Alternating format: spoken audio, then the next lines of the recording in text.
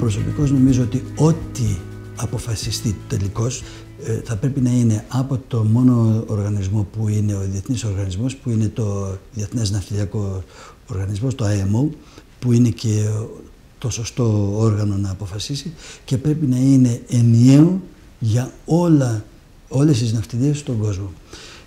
Πρέπει να υπάρχουν διεθνείς κανόνες και όχι τοπικοί κανόνες, διότι η ναυτιλία είναι μια παγκοσμιοποιημένη ε, βιομηχανία και δεν μπορεί να ε, αλλάζει σύμφωνα με τις χώρες που πάει.